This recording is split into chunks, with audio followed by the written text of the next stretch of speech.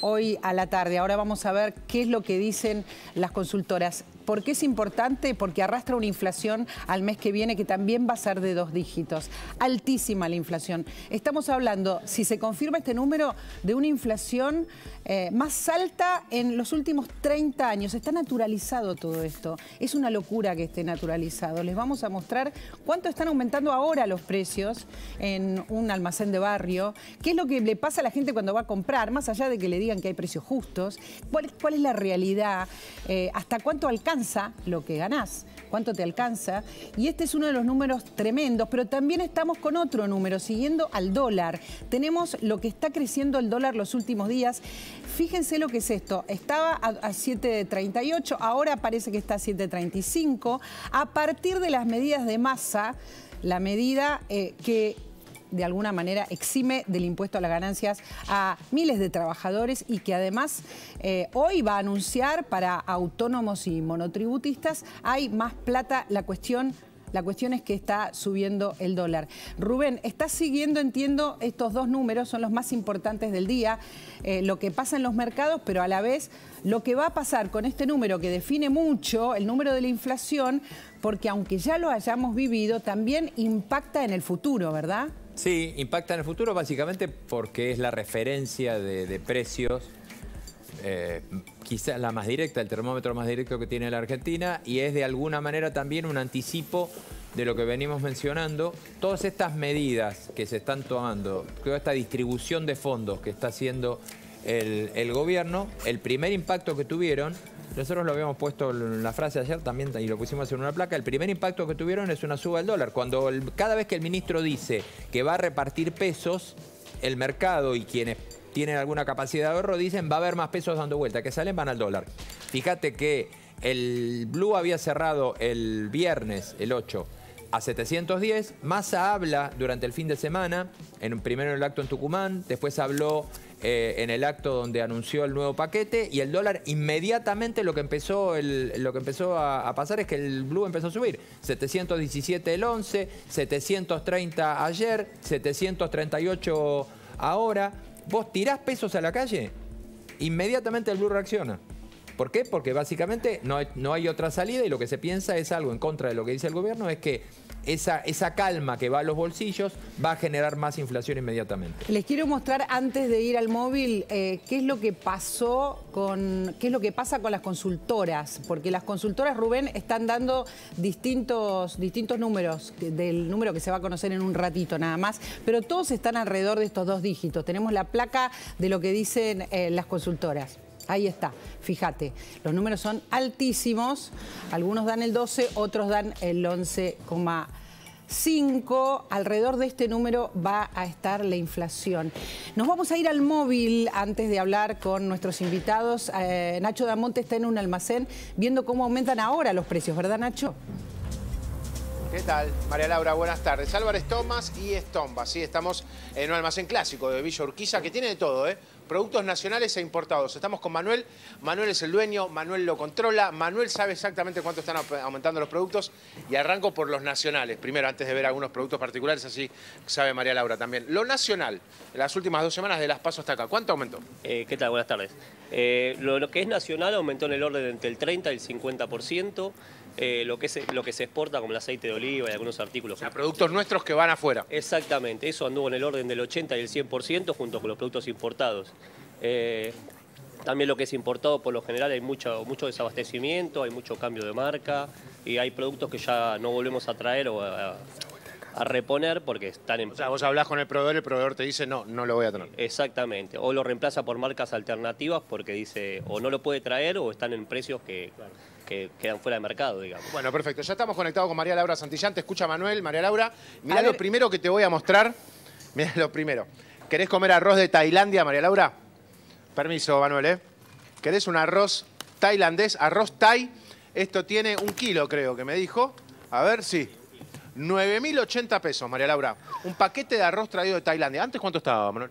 Eh, ese estaba alrededor de 5 mil pesos, más o menos. 4 mil pesos en dos semanas. 4 o 5 mil pesos. Wow, tremendo. Eh, bueno, María Laura, no sé si le querés hacer alguna pregunta. Sí, claro. Manuel, ¿cómo estás? Buenas tardes. ¿Qué tal? Buenas tardes, María Laura. ¿Me escuchás bien? Te escucho medio bajo. Contame. Sí, te escucho perfecto. ¿Vos vendés solamente productos importados? No, no, yo tengo una fiambrería almacén, eh, vendo un poco dietética, bebidas, eh, frutos secos, tengo un poco de todo. Mira, acá María Laura tiene el aceite de oliva nacional, como para que compares. Contanos del, del Zucardi. Por ejemplo, el aceite de oliva, que es lo que te contaba antes, son productos que se exportan Sí. y se fueron, estaban alrededor de los 3.500 pesos, 4.000 pesos, hoy rondan los 9.000. Eh, la yerba canarias, que la tenés ahí abajo también, es un producto que es uruguayo, que se fue, estaba alrededor de los 1.500 pesos el kilo, hoy está alrededor de 6.000 pesos. O sea, son, son productos que pasan a ser, eh, eh, ¿cómo te puedo decir? Clavos para mí. Claro, productos de lujo, o, o pasan a quedar ahí la- en la, en la ex- en exhibición permanentemente, o sea, productos que se dejan de vender, de comercializar. La gente no los elige. A ver, me gustaría eh, entender, ¿la gente no elige los productos nacionales caros? Eh, no, la gente empieza a, o sea, obviamente los aumentos de precios eh, se repercuten directamente en la economía de la gente, en el Claro, bolsillo de la gente. claro. Entonces, la gente viene y se limita a comprar lo justo y necesario o opta por otras marcas o directamente por no llevarlo porque, ya te digo, no lo puede comprar, viene con la plata justa. Se empieza a notar que la gente empieza a tarjetear mucho más en vez de comprar con efectivo o compra directa como para poder estirar un poquito el plazo de pago.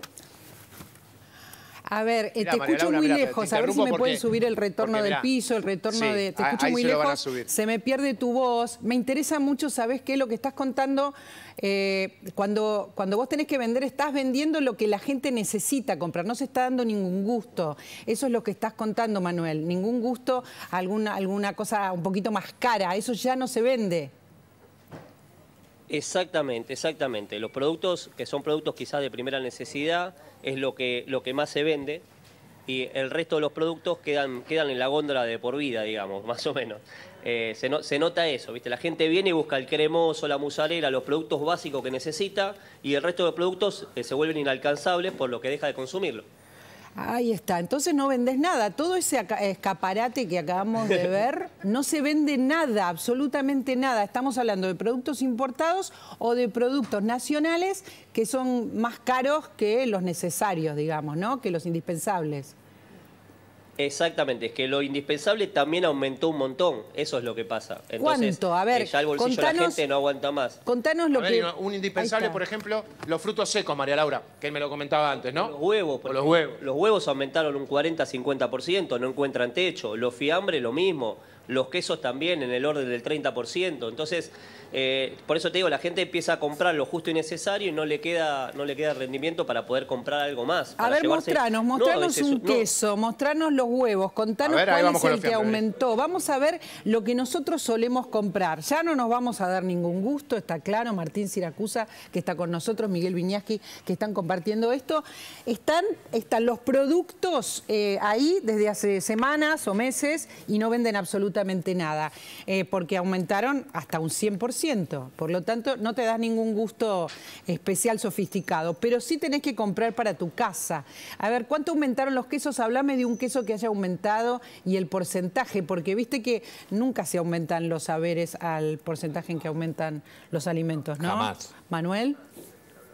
Exacto, exactamente. Eh, mirá, lo que más aumentaron fueron los quesos duros Sí. y los fiambres, digamos, de, de primera línea. Eh, tratamos de aguantar los que, lo- tratando de bajar un poquito nu- nuestro margen de ganancia, los cremosos y la musarela. Sí. Los quesos, viste, más económicos, que hoy rondan alrededor de los 2 mil pesos el kilo, más o menos, esos quesos. Y después los quesos, los quesos duros llegan a valer 7 mil, 8 mil pesos con tranquilidad. Los fiambres de primera línea ya superan los 10 mil pesos. En un momento, María Laura, y lo incluyo a Manuel también con esta pregunta y a los chicos que están en el piso, se, se hablaba en un momento de que el kilo de queso rallado, si uno lo llevaba a comparación con el kilo por kilo de una camioneta importada, llegaba a valer más caro el queso rallado. Eh, cotizame, no sé, un kilo de queso parmesano para rallar. Y un kilo de queso parmesano está alrededor de 700, de 7.300 el kilo. 7.000, Pero para, que que estoy idea, anotando. 7.300 el kilo. ¿Y cuánto costaba hace un mes? ¿Te acordás? Y alrededor de, sí, alrededor de 4.900 creo que estaba el 4.900, hagamos números. Este Y no es el algo- número de la inflación, Mirá, es muchísimo una, más. Una nota, una nota de color que te puedo dar. Sí. tengo un problema que la balanza no me deja actualizar el lista de los precios porque no me entran más dígitos, porque Claro. superaron de los 10 mil pesos. Entonces tuve que incorporar otro sistema para poder seguir cobrando lo mismo. Esto ¿Está bien? que- Porque hay fiambres que ya superan los 10 mil pesos. Claro, esto que dijo Nacho eh, del queso parmesano, quizás es uno de los que más aumentó, Manuel, el parmesano, o todos han aumentado estos porcentajes altísimos, los quesos. Los quesos duros son los que más subieron. Eh, los quesos cremosos y los mozzarella, que son, digamos, lo de primera necesidad, eh, no aumentaron en el mismo porcentaje, ¿no es cierto? Eh, Claro. Y lo que son primera línea, o sea, marcas, tenemos marcas de primera línea y segundas marcas. Las primeras marcas están, te diría, a precio dólar. Están a la, a la par de lo, que, de lo que sube la inflación, digamos, o la economía o, o el dólar en realidad. Estamos hablando de quesos que valían eh, 4.900, hoy valen 7.300. 7.300, 7.800, 8.200. Estamos hablando de una inflación mucho más kilo. alta entonces que A la que nosotros vamos a conocer hoy. Es importante decirle... Hay- Mira, hay- María Laura, yo te quería mostrar algo, eh, también mostrarle a, Espérame a medio Rubén, segundo, eh, que está sigo- haciendo un cálculo Rubén. No, Sí. a ver, hay procesos. Ah. hay- no, no, perdón. Hay, hay puntos específicos de algunos productos que no siguen el nivel de la inflación. En los quesos estacionados lo venimos viendo prácticamente todos los meses, específicamente los estacionados, que tienen un valor mucho más alto que Pero los para quesos la comida nuestra, el queso rallado es indispensable para todo, te diría. O Sí, sea, le pones queso a todo. Exactamente. Ahora, ahí quizás no lo tengan, pero hay quesos que están entre 8.200, 8.100, 8.300 el kilo. Sí, los tenés, ¿no? Sí, sí, sí. Sí, sí, O sea, los los tiene. Está los intentando darme lo más económico. Sí, ¿qué, Manuel? Aumentaron entre un 30 y un 50% Claro. los productos nacionales. Ese sería. Inmediatamente un 30 aumentó más o menos después de la devaluación, después de las PASO. Eh, y después se fueron acomodando y buscando techo, porque, acá te digo, siguen aumentando semana a semana, en el orden de un 7, un 8% más. o Mira, eh, esto que tengo acá, María Laura, acá en la mano, te, Sí. perdón que te insista, porque esto es, eh, en su momento muchos lo queríamos tener, ¿no? El molinillo de pimientas de distintos estilos, variedades. Esto es industria nacional. ¿Sabes Sí. cuánto está este molinillo de, de pimienta, María Laura? Sí. A ver si adivinas. Te doy Contame. una chance. Una, ¿eh? No, ni idea, Una ni chance. idea. No, no te puedo dar porque no tengo idea. Yo ya no tengo 14.500 precio. pesos, ¿Cómo María Laura? 14.500? 14.500 Bueno, pesos. ¿Qué, qué es bueno. aluminio? ¿Esto qué tiene? Eh, en realidad es de, sí, es de, de acero inoxidable, me parece. Inoxidable, claro. A ver, Pero era un producto que estaba alrededor de 9 mil pesos previo a la devaluación y hoy está en el orden de 15 mil. Una locura. Eso Una está locura, prohibitivo, por eso yo te pido que nos muestres los precios que sí podemos comprar. Por eso iba a los quesos y a todo lo que ver, ¿y los necesitamos. huevos? Vamos Porque a los eso huevos. me amarga, Miguel. Que también pará. sirve, ¿no? Mientras vos buscás precios, quiero hablar con Miguel Viñas que está con nosotros con estas imágenes. ¿Entendés que uno se amarga mucho? Entiendo, la- el trabajo de Nacho es impecable, Martín, Miguel, porque está mostrando que son incomprables, pero uno se hace una, eh, o sea, se amarga un montón. No hay un solo producto que uno pueda usar para darse un gusto. es, terriblemente angustiante. Y, esa angustia, que, es concreta, ¿no? La angustia existencial, no sé, ¿no? por el sentido de la vida, es concretísima, tiene un efecto social terrible, es un sismo. Entonces, esto desbalancea todo, desde el sistema político, la- eh, de pronto brotan candidatos impensados, es decir, e- es una especie de volcán la inflación con una ilusión óptica, que, si- que siempre es la misma. ¿Cuál? Eh, pues, suponete el candidato eh, ministro te dice, "Va- mañana vas a cobrar mucha guita más. Fenómeno, decís, "Mira, cobré mucho más. No, la inflación siempre te gana. Claro. Siempre te gana, justamente porque la repartiste vía emisión. O sea, todas estas mejoras que está dando masa son ilusiones. Sí, te dura un ratito, decís te vos. dura un ratito. Es importante la opinión de Miguel porque es filósofo. Y lo que estamos tratando de ver es cómo sobrevivir, Miguel. Ni siquiera vivir bien, La, la- la- sobrevivir. la inflación siempre tiene efectos sociológicos eh, muy dramáticos. Yo no quiero dramatizar, pero es así, es historia comparada. Es dramático. He visto gente llorando, no Claro. porque no pueda llegar a fin de mes, sino porque la frustración de lo que no se puede comprar, terrible. de que no puede darse un gusto. y que no puede darse un gusto y de que de pronto no puede llenar la heladera con lo, con lo más elemental o no puede pagar una cuota o, se- o la tarjeta, los intereses. Bueno, todo, la vida. Eso es la vida cotidiana, la, economía es vida cotidiana. Le voy a pedir a Nacho y al camarógrafo si me pueden mostrar los elementos de la vida cotidiana, porque yo acá no me quiero amargar más y no quiero que la gente se amargue más. Todo lo que no se puede comprar eh, no lo vamos a ver, porque es frustrante, porque es angustiante, como dice, como dice Miguel, vamos a los quesos, vamos a lo que compramos, a la, a la yerba, a los huevos. Eh, Martín Siracusa sabe de inflación. Esto que describe tan bien Miguel, y me interesa, Miguel, que le sumes a Martín también tu vivencia, eh, esta angustia tremenda, esta ilusión óptica, esto es una ilusión óptica, ¿no? Que te den plata, que te aumenten y que no te sirva para nada o te sirva para poco. Mira, es muy importante lo que estamos mostrando, lo que, lo que están mostrando, porque recién hablábamos del dólar, pero ahora hablamos de, de la papa, hablamos del queso, y eso lo que muestra es muy claro. No es que todo sube, es que el peso es lo que está bajando. Exactamente. Es la moneda, la inflación, es la pérdida de valor del peso.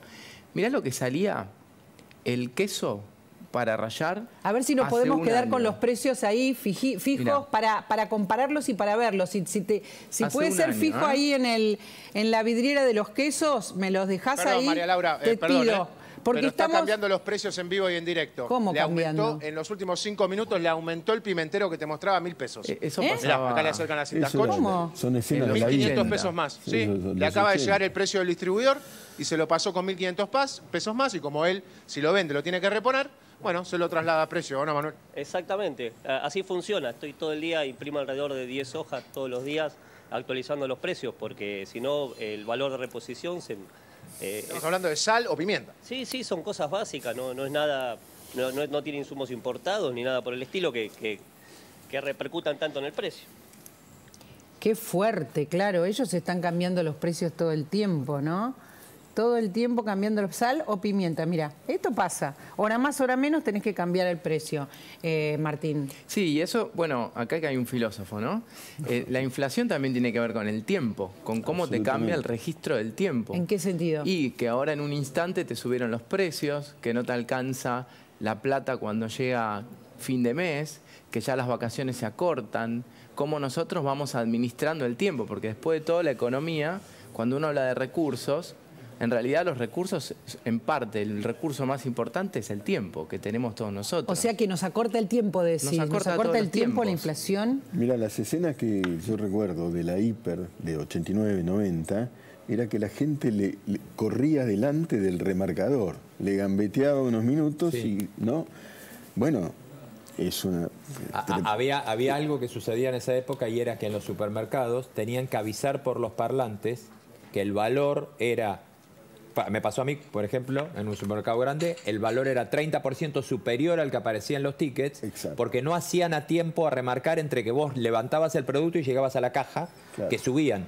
Entonces... se rema- te avisaban que cuando llegaras Ahí a la está. caja el precio era distinto. Quédate ahí, quédate ahí quieto, quédate ahí viendo. quieto. Le pido por favor al camarógrafo o a alguien que me esté escuchando, porque necesitamos ver los precios un rato para conversarlos así, en un lugar, que estén fijos y que podamos comparar, que podamos ver los precios, ¿no?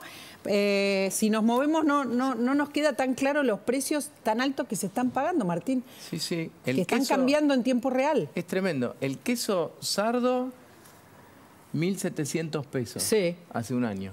Sí. Ahí dice 2.900. la oferta, ¿no? Con Sí. media horma. Por media norma. Por media Por- horma. tenés Bueno, que comprar mucho. Tenés y que consumir mucho. mucho. Tenés que comprar mucho. Esa es una 2.900 el sardo lo tiene Manuel. Sí. Después, no sé si tienen el salame, a ver. Este, a ver, Yo acá lo- tengo A ver, todo. ¿tenés algo de salame acá, Manuel? Acá está el salame, mirá. Acá tenés salame a ver los precios. Ah, salamín. 1.410 pesos. Salamín, salamín. claro. Salamín, salame tipo fuet. Mirá, el precio por kilo, ahí me lo marca. 10.900 pesos, María Laura. ¿Estás nota, ¿no? hablando de un salame, Manuel, Sí, o importado o No, argentino? este- este- esto no es importado, ¿no? Esto es salame nacional, es de Bocati, que bueno, es, es primera línea nacional, y después tenemos uno de, de la provincia de Mercedes, perdón, de Mercedes, de acá de provincia de Buenos Aires, que es directamente creo que está algo de 14 mil pesos el kilo. Más caro todavía. Do- Más 2.000 caro todavía, exactamente. Son pesos productos artesanales, pero el aumento de la carne hizo que viste que, que saliera carísimo lo- los insumos directamente para producirlo. Sí, el kilo Serían de salame estos hace un año estaba a 2.000 pesos. Estoy leyendo los números del INDEX. Sí. Que son los números del INDEX. Esto estaba los- alrededor de son los 500 pesos. oficiales, ¿no? Eh, Bueno, la papa, la papa ahí no, no está la papa. No, ahí- ahí estamos en un 150 almacén. pesos el No, kilo no tenemos papa. frutas y verduras, ¿no, Manu? No, frutas No, y no, verduras no, tenemos en aquí. Un almacén. Nos quedamos con los Tenemos fiambres, ahí fiambres. quietitos para, fiambres. para empezar a comparar. Dale. Bien. eh, porque Vamos con los fiambres ahora, Yo me mareo con tanto precio. Me mareo, me mareo, me mareo. ¿Qué decís, Gaby? Eh, ¿Dijiste al- al- algún comentario No, de estaba- esto? eh, Del... no, con Martín estábamos viendo el, tema de los precios de- del salame y demás. La comparativa que hace interanual es realmente angustiante. O sea, cuando vos te pones a pensar, todo esto que decía también Miguel, con un año atrás también, te angustias, es inevitable porque los salarios no alcanzan, por más que haya aumentos, por más que haya paritarias y más, no alcanzan a, a- a Después de angustiarse, ¿qué pasa, Miguel? Porque esto no es eh, gratuito. Uno se angustia, la pasa mal, se pone triste, deja cosas de comprar y eh, se le acorta el tiempo, dijo Martín Siracusa. La, angustia es directamente proporcional al crecimiento de la incertidumbre. Hay una gran incertidumbre. ¿Alguien sabe qué va a pasar dentro de una semana? O el- no, digo, todo es incierto, pero tu vida, no solamente la, macro. Tu vida, llegás, no llegás, ¿qué pasa con tu alquiler? Y si se te vence el alquiler, ¿y a cuánto se te va? Eso, eso son las cosas, ¿no? los trabajos y los días y los esfuerzos que se te van vol- volatilizando. Ahí hay un pensador, Elías Canetti, que estudió mucho la inflación, un libro que se llama Masa y Poder, que lo que dice es que, que se devalúa sos vos, no solo el peso. Vos, decís, pero como mi laburo, soy yo el que está laburando Sí. y yo valgo menos. Sí. Porque, digamos, Compras menos. O sea, le compro pega menos. tu autoestima, le pega tu autoestima inmediatamente. O sea, yo no puedo generar la plata para vivir cómodamente, ¿no? Claro. Y, y eso es producto, la verdad, que de, de malas gestiones, ¿no? De malas gestiones, de decisiones irresponsables, de populistas, etcétera. Y bueno, A ver, eh, el, el Fondo Monetario, mientras tanto, está, está avisando que no se está luchando contra la inflación. Lo está avisando eh, de una manera literal, lo está diciendo el Fondo.